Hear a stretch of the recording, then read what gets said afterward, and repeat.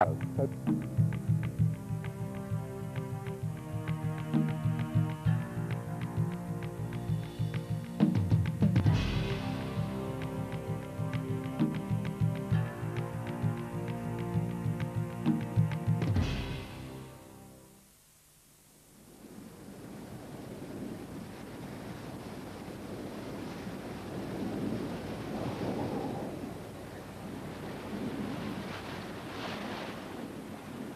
It was the worst drought that southern Africa had known for over 100 years. It struck both people and wildlife a terrible blow.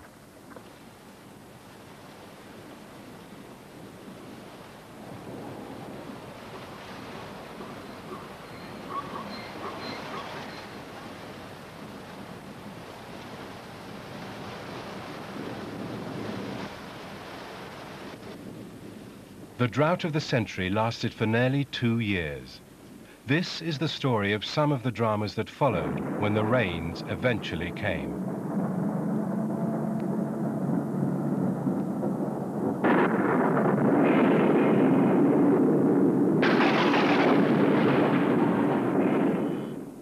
It usually starts to rain in Etosha National Park, Namibia, towards the end of October and continues on and off until March. For two years, this never happened. Under a relentless sun, new grass withered and water all but disappeared.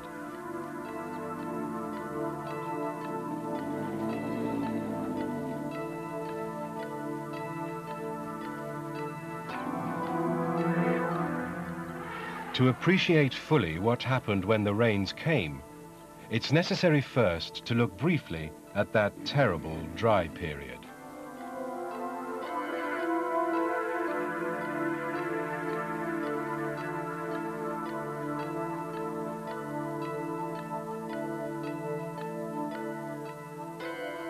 The only greenery left on the plains was coarse vegetation that the grazing animals wouldn't eat.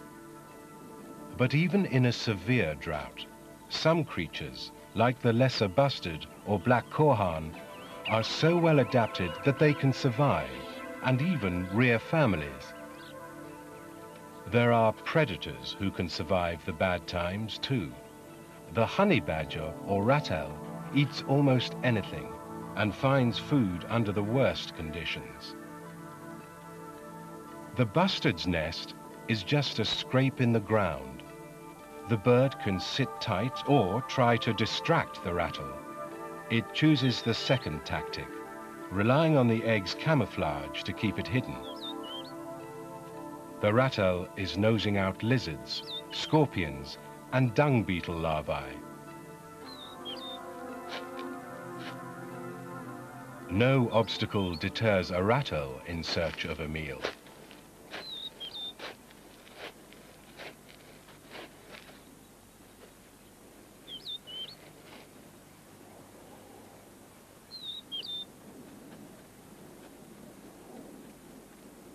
The korhaan judges it safe to return to its nest hidden in one of the few green patches the drought has left. The vegetation is only there because it's unpalatable to most animals.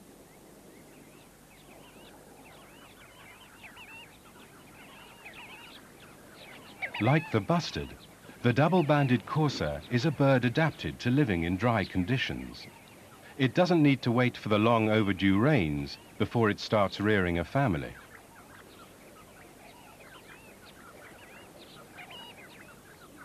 Even in a drought, there are still insects to catch, and the birds get most of the moisture they need from this source of food.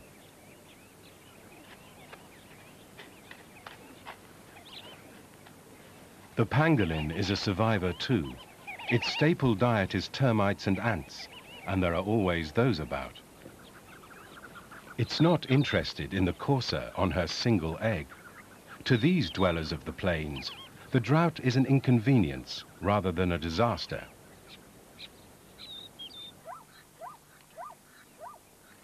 For week after week, there's not a cloud in the sky. The only waterholes that animals like kudu and zebra can rely on are those that are fed by underground springs from Etosha's limestone base. zebra pour among the stones to reach the remaining water.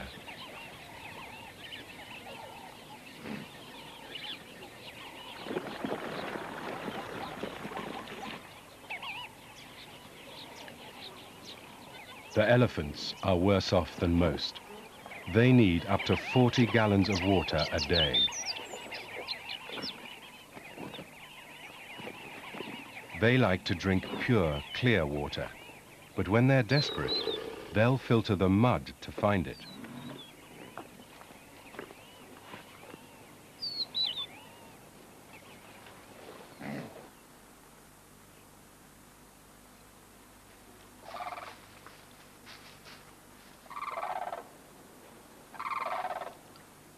Open water is essential to the blue crane's way of life. A muddy puddle is a very poor substitute.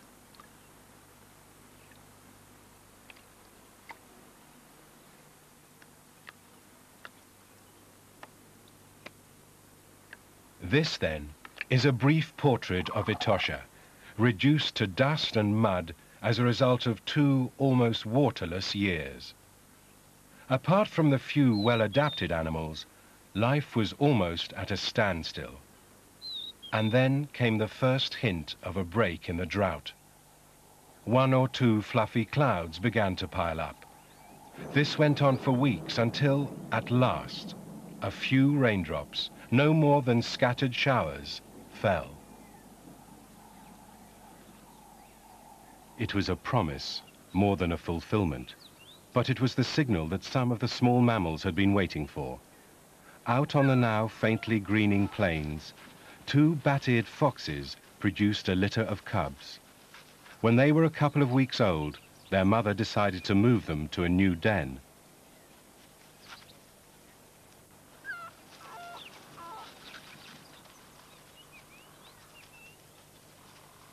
The brief break in the drought brought opportunities for others, like the pied crow.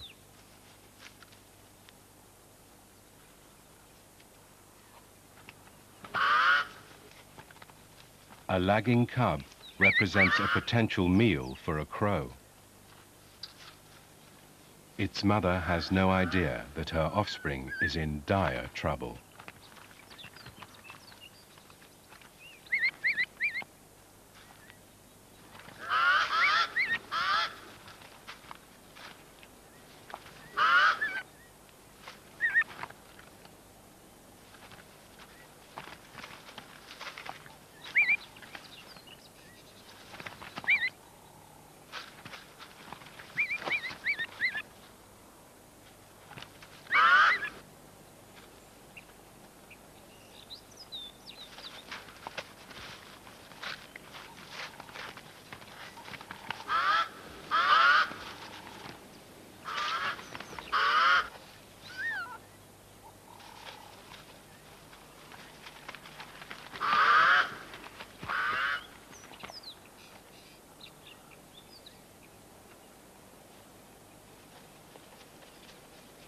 Apart from being slightly lame in one leg, the cub has escaped serious injury and won its first big battle in life.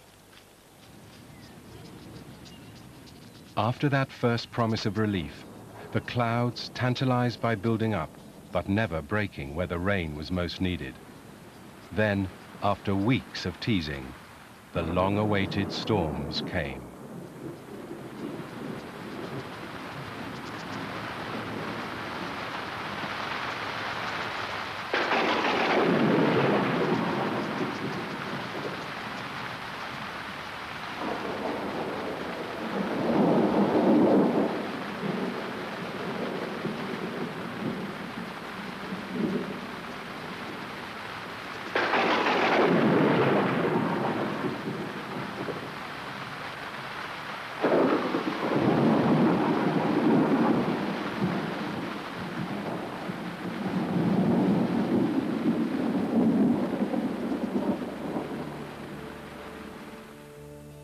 What had looked like this was unbelievably transformed to this in a few weeks.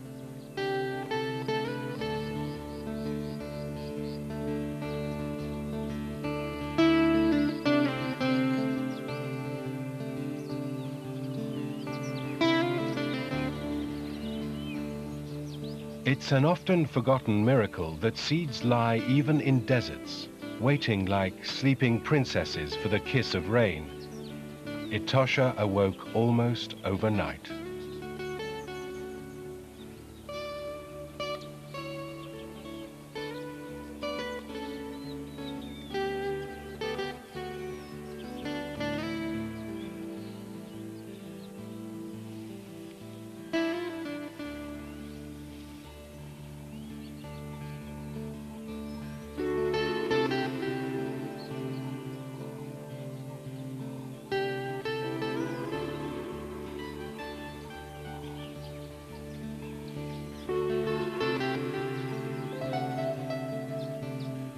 The flowers are only a seven-day wonder, withering in the hot sun almost as quickly as they blossom.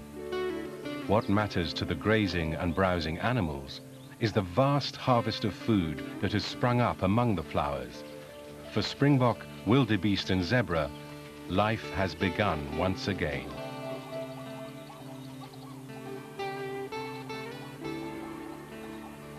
For the birds too. The crown plover is quick to take advantage of generous cover and plentiful food to rear her chicks.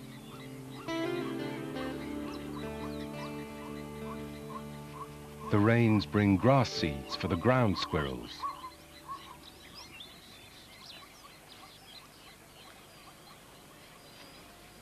The flush of new grass has triggered the male springbok into rutting duels.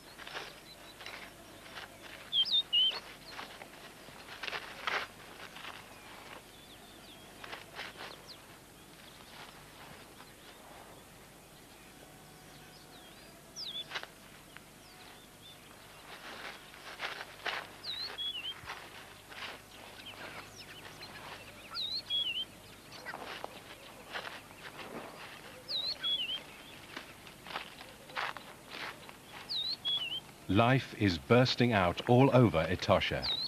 Some of the most dramatic events are rarely seen.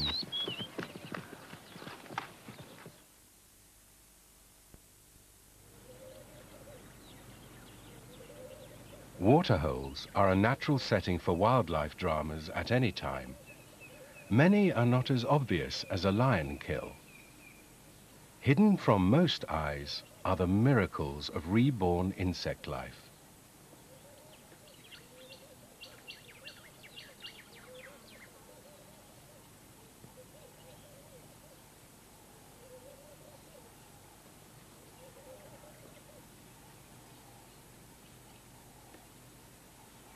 The stick grasshopper matches exactly the grass on which it rests and is easily overlooked.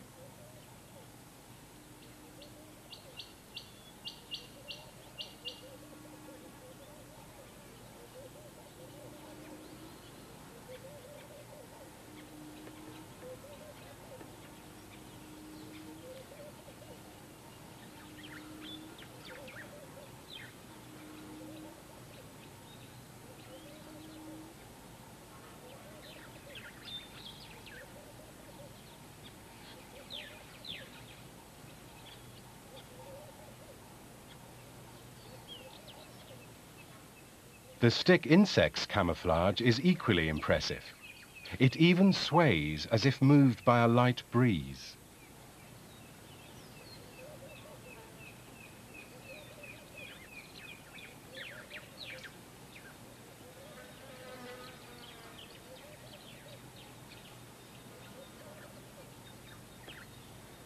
When it's threatened, it tries to frighten possible enemies by opening its wings.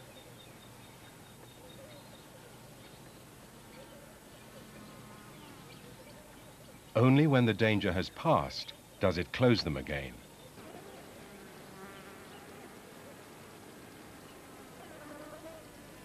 There are almost as many species of praying mantis as there are different kinds of grass around the water's edge. Each species is adapted to look like the leaf or blade on which it chooses to sit, waiting for prey.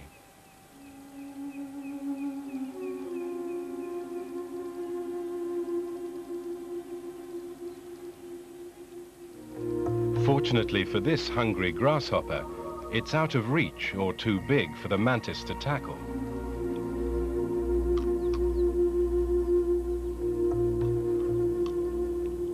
In the mopani trees, which grow round the waterhole, a mopani emperor moth caterpillar feasts relatively free from competition.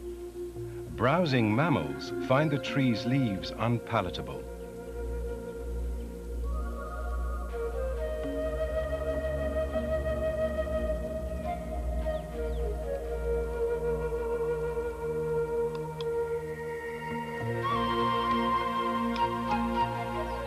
The period following the rains is a time for hatching.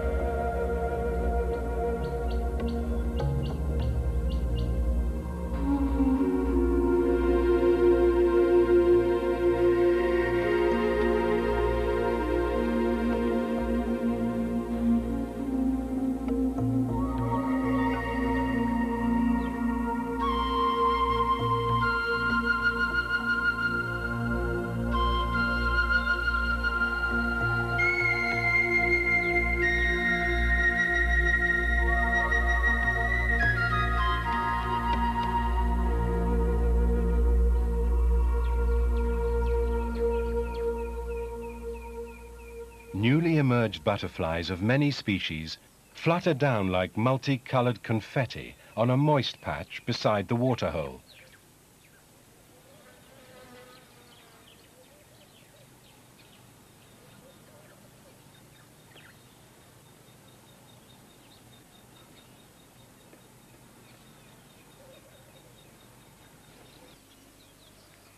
In the fresh green miniature forest, a hunter swivels its eyes in search of any victim within range of its projectile tongue.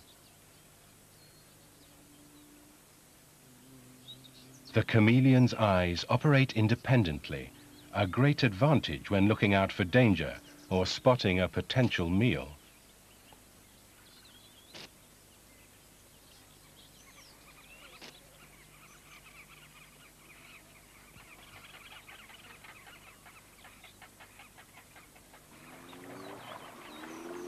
The bullfrogs have spent the two dry years buried in the mud. Now they've emerged and the pressure is on to breed. In the burning sun, the water can disappear almost as quickly as it came, so they must mate, spawn, and the tadpoles hatch, all in the space of days rather than weeks. The tadpoles are highly vulnerable. The shallows in which they swim can quickly evaporate, leaving them high and dry long before they can become little frogs. But enough usually make it.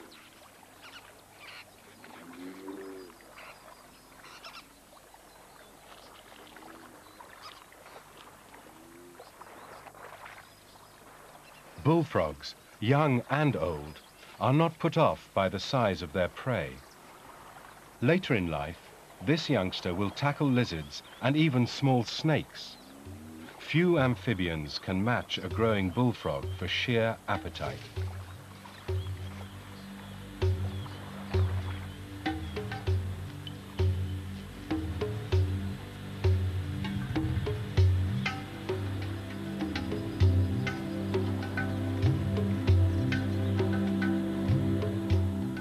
Heavy rains have brought an unusual visitor to Etosha, a fish eagle. There are no rivers in Etosha and very few fish. But perhaps the four inches of rain that fell in 11 days fooled the eagle.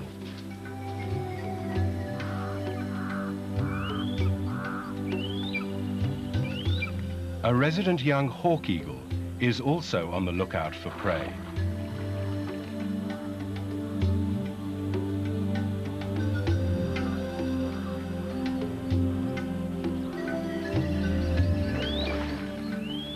There are no fish in the water holes.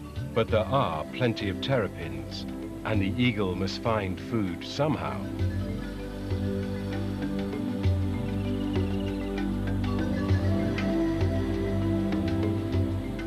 A terrapin's shell gives protection from most enemies, but not from a fish eagle's hooked beak.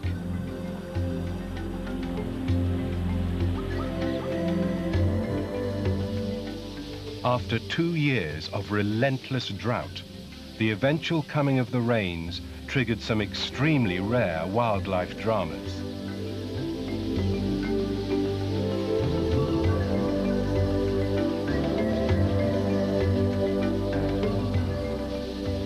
The phenomenon of millions of red-billed quelea nesting after the rains is often witnessed.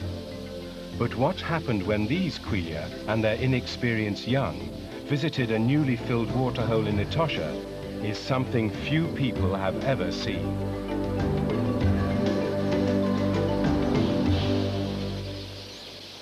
Marabou storks are opportunists. Some of them learn to catch small birds like quelea, but this attack on the quelea flocks came from many directions. First, the tawny eagles are lying in wait. Inevitably, in such a mass of birds, some fall or get panicked into the water as they drink or bathe. The next form of attack came from below the surface, by terrapin.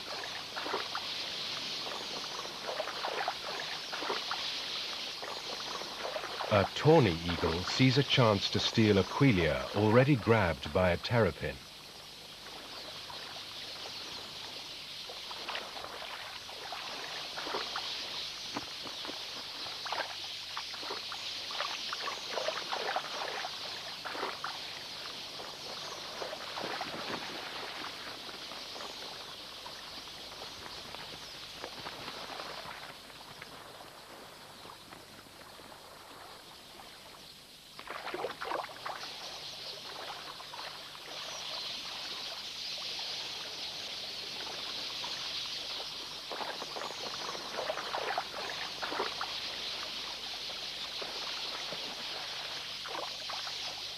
Attack by water, air, and now, finally, by land. A black-backed jackal joins the hunt.